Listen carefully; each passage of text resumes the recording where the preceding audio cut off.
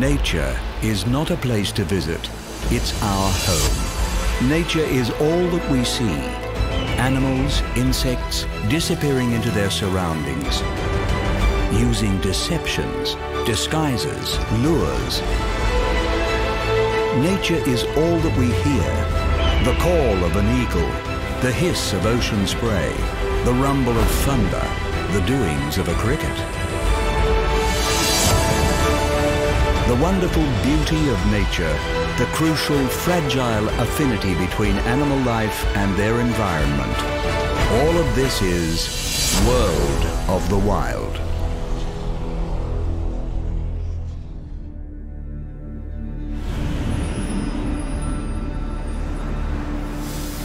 With 71% of the globe covered by ocean, our planet is a world of water. The open ocean, or pelagic zone, may appear uniform from above, but this is an environment more diverse than the terrestrial world and on a greater scale. Swept by powerful, endless currents influencing the conditions of life below and the weather systems above, the depths bring variation on a vertical scale with crushing water pressure and loss of sunlight. A staggeringly enormous and complex environment to survive in the pelagic requires adaptation seen nowhere else on Earth. And in this episode, we fly through the depths with manta rays, join humpback whales on their epic migrations, hunt the water column with barracudas, frolic with dolphins, and learn the mysteries of whale sharks.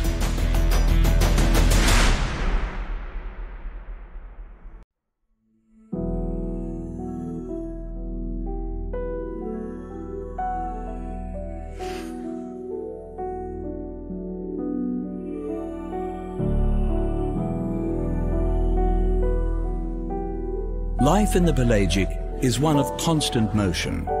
Gliding gracefully through the seas on their outstretched wings, manta rays are among the most elegant and mysterious of the ocean's travelers.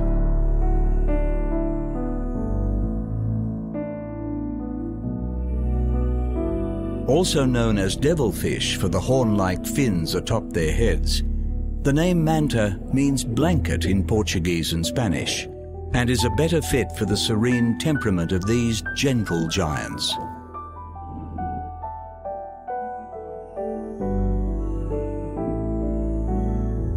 Secretive creatures, science has only recently recognized two separate species of manta rays, a smaller breed tending to occupy coastal waters, and the giant oceanic mantas that make their home in the pelagic.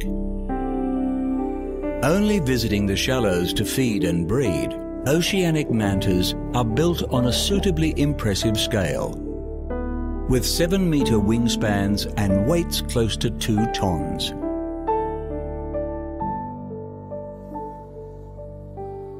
The oceanic manta's migratory patterns are poorly understood, but they are known to cover vast distances throughout temperate and tropical waters.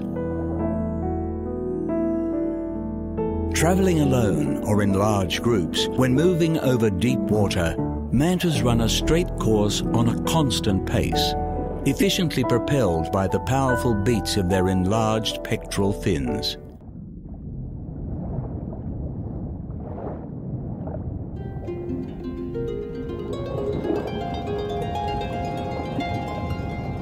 As filter feeders, mantas adopt a different style of swimming when feeding. Slowly circling groups of plankton, mantas herd the microscopic organisms into a dense ball which they then proceed to somersault through. Here their devil horns, or cephalic fins, come into play, flattening out to funnel the feed into the manta's mouth, maximizing their intake.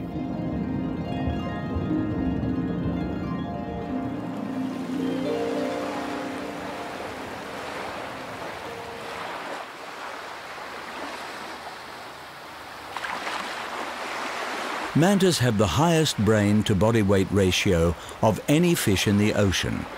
Although little is known about the manta ray brain, it is surrounded by a network of blood vessels that maintain it at a constant temperature. With regularly recorded dives into the frigid ocean depths of over 400 meters, the manta is able to keep this organ warmer than its surrounding tissue, an adaptation that suggests the importance of the manta's brain for its life in the open water. Feeding exclusively on plankton, the oceanic manta has an advantage over its coast-dwelling relative.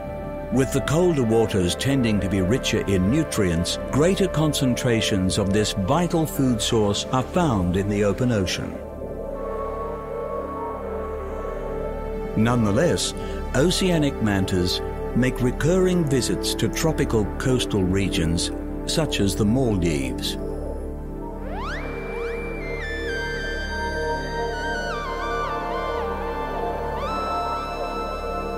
At certain times of the year, these waters play host to gatherings of both oceanic and coastal mantas, numbering in their thousands.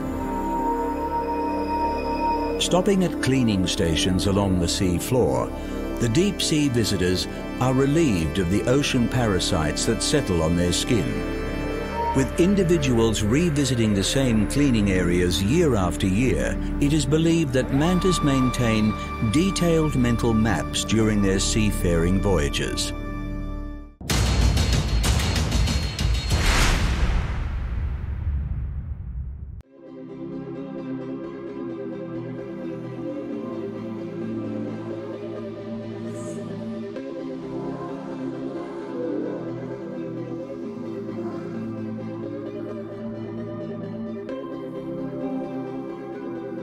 Crossing and recrossing the enormous breadth of the open ocean on its yearly migrations, the tireless humpback whale is both a mystery to science and a master of the high seas. With adults reaching lengths of over 15 metres and weights of 36 tonnes, the giant humpback fears few of the predators that lurk in the ocean depths. Found in all the world's oceans, these migratory cetaceans make their gentle passage from north to south annually, covering a staggering 25,000 kilometers a year. Known as tubercles, the distinctive golf ball-sized bumps concentrated around humpback whales' heads are a mystery to science. Highly sensitive appendages, theories for their purpose range from picking up the electromagnetic fields to gauging the density of prey species as the whales swim through them. With no proven answer, the reason humpbacks have evolved such enhanced sensory organs remains as mysterious as the waters they traverse.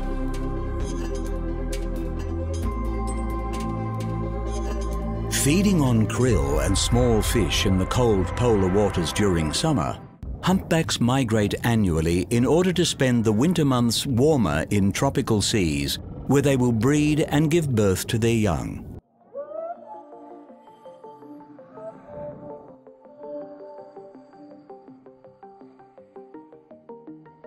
For the first six months of the calf's life, it will nurse from its mother, and the two will be inseparable. Swimming side by side, the mother will protect and guide her calf as they make their way back across the high seas to the polar feeding waters, constantly reaching out to touch one another with ever elongated pectoral fins in apparent gestures of reassurance and affection. With proportionally the longest fins of any cetacean, humpbacks are granted surprising agility in herding and pursuing prey. Furthermore, these enlarged pectorals provide greater swimming efficiency for prolonged open ocean voyages. And with the whales regularly transitioning from cold to warm waters, the increased surface area of the fins is thought to facilitate temperature control, drawing excess warmth from the body to prevent overheating.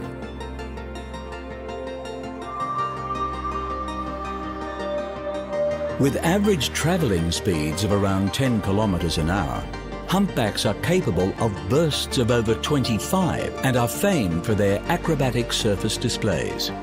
Breaching sees the humpback lift its tremendous bulk from the water before splashing down with terrific force. Like so much about these whales, the reason behind this exuberant behaviour is uncertain. It may be a form of social display to other whales, a method of cleaning parasites from their bodies, or it could simply be the whales having fun. Hunted by humans since the 18th century, it was the introduction of the explosive harpoon that came to devastate the species in the late 19th. With the humpbacked population estimated to have fallen by 90%, they were taken to the brink of extinction before a ban on commercial humpback whaling was imposed in the 1960s. Today, numbers have recovered and the open ocean has for now retained a healthy population of this wondrous species.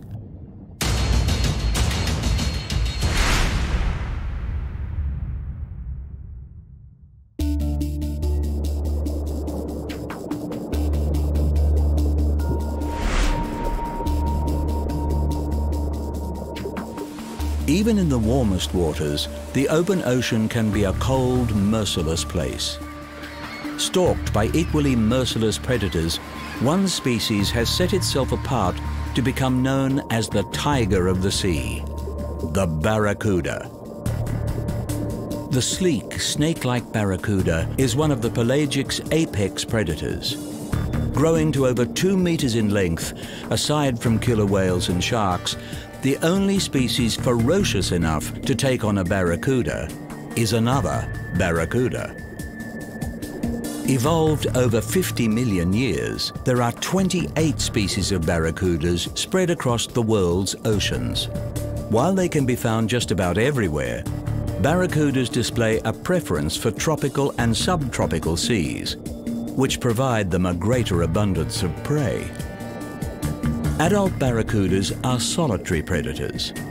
Ambush hunters, they employ the element of surprise to catch their prey, charging at speeds of over 40 kilometers an hour. Juveniles are easier to spot in the wild as they frequently congregate in schools. While schooling can reduce the amount of food going to each individual, this behaviour affords young barracudas a greater degree of protection from predators as they grow and develop their hunting skills. Feeding primarily on other fish, barracudas rely on their acute vision to hunt the challenging pelagic waters. And thanks to their prominent fang-like teeth, prey is generally dispatched efficiently with a single bite.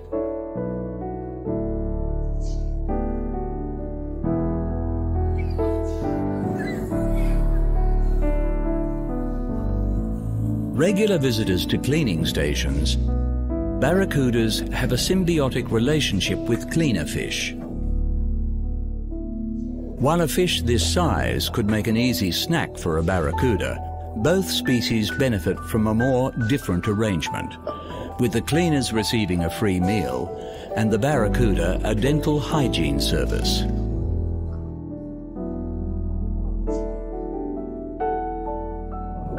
Hunting in the open ocean requires the ability to strike at a range of depths, and the barracuda utilizes an enlarged swim bladder in order to achieve this.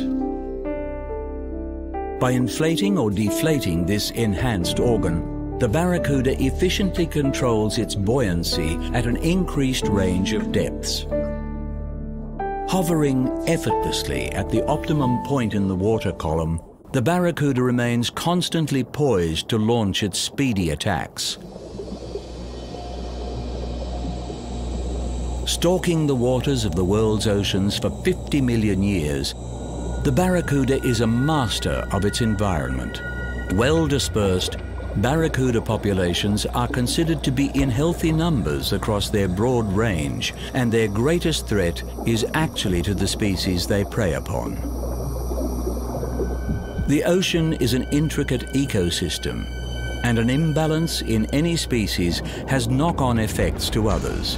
It is the responsibility of humanity to ensure that when we take from the ocean, enough is left for it to sustain itself and the network of life it supports.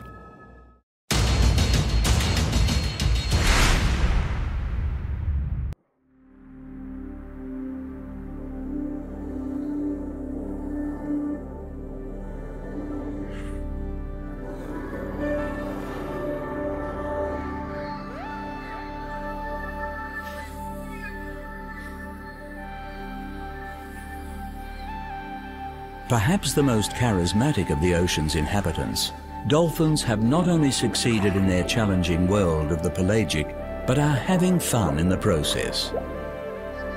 Of the 42 species of dolphin, 38 are oceanic. And while most species display a preference for warmer waters with moderate depths, there is not an ocean on Earth in which this versatile animal cannot be found.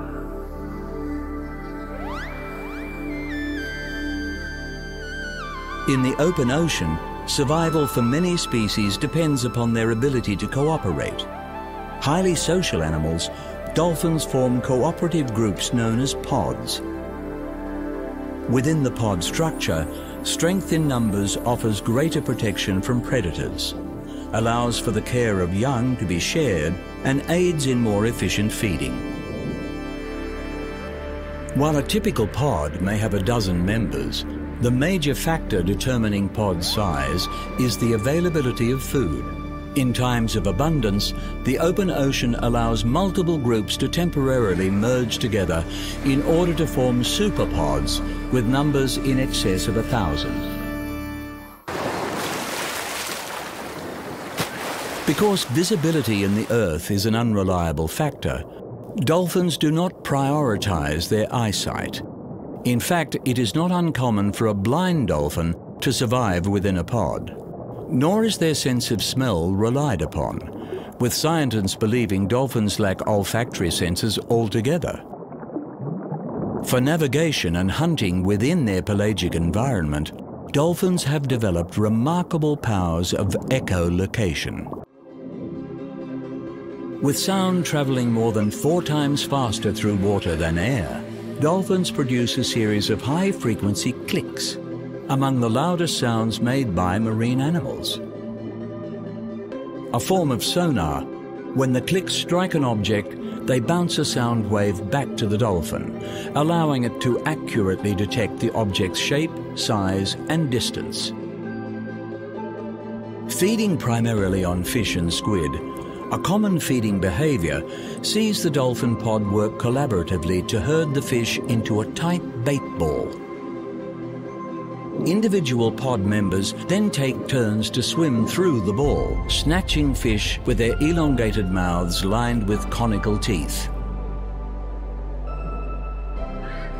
Those that play together stay together, and a significant part of the dolphin's social life appears to revolve around simply having fun.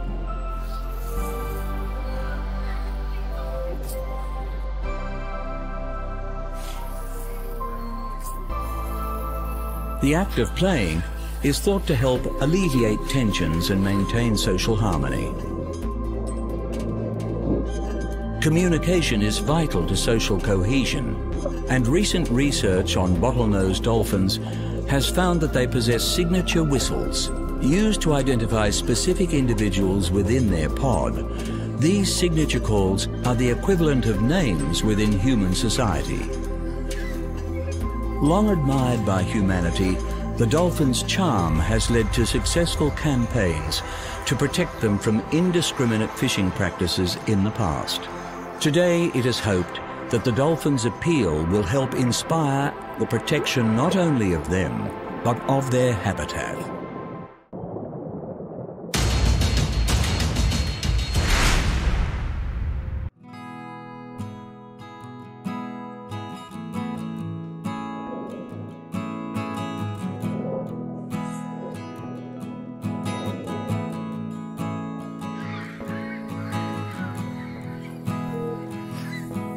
The sheer expanse of the open ocean struck terror into the early seafarers who ventured beyond sight of land. Believed to be the realm of giants, many myths have been spread about the colossal creatures inhabiting the high seas. One mythical creature that turned out to be real was the whale shark. Whale sharks are the largest fish in the world. And while the largest confirmed specimen measured over 12 and a half metres and weighed in at a hefty 21 and a half tonnes, reports of even bigger individuals are common. Accompanied by schools of cleaner fish, which have developed a symbiotic relationship with the whale shark, removing parasites from its body and receiving food and shelter in the process, this giant fish spends most of its mysterious life in the pelagic zone.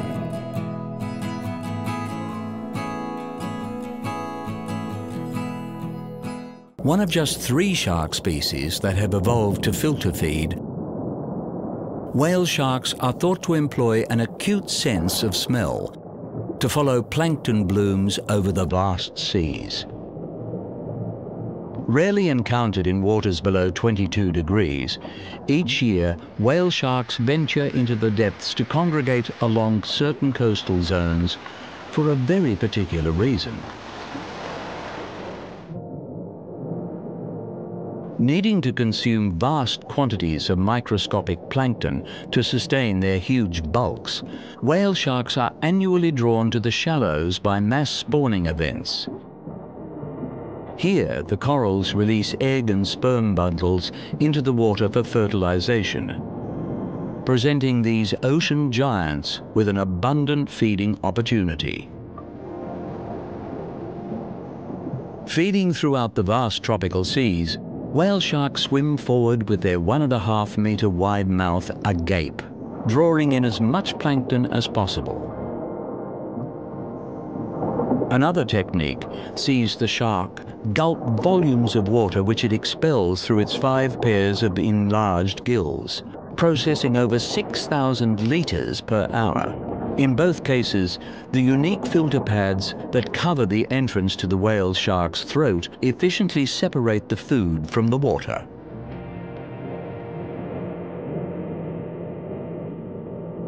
Aside from the scores of cleaner fish that follow their every move, whale sharks are solitary animals.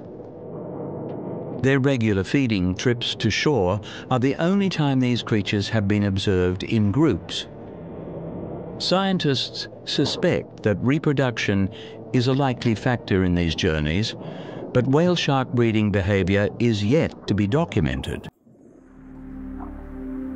In the open ocean, whale sharks have room to grow and size grants protection from pelagic predators.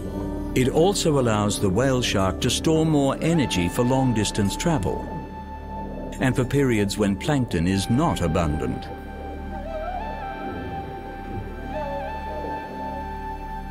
Increased lung capacity makes dives to depths of well over a thousand meters possible a handy trick when threatened or in pursuit of food.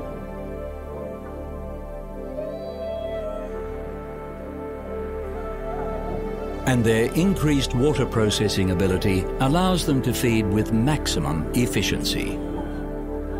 Classed as a vulnerable species, with so much still to be known about this mysterious creature, its future is as uncertain as its present making its way back out to disappear into the open ocean, the only sure way to protect the whale shark is to protect the seas themselves.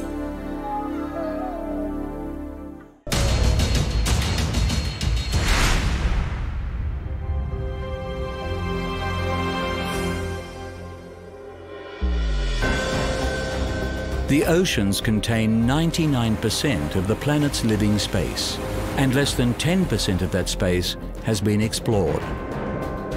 The enormity of this environment has led to its inhabitants evolving some diverse adaptations to survive within it, and in this episode, we have encountered graceful manta rays, durable humpbacked whales, toothy barracudas, playful dolphins, and awe-inspiring whale sharks. But the pelagic's vast scale has seen it treated as an inexhaustible resource by humanity. Decades of overfishing, mining and pollution have degraded this environment and its ability to support life. With our planet dominated by oceans, there is increasing recognition that the health of the waters is vital to the health of the Earth. As protections for this precious yet precarious environment improve, the question is whether we are acting fast enough.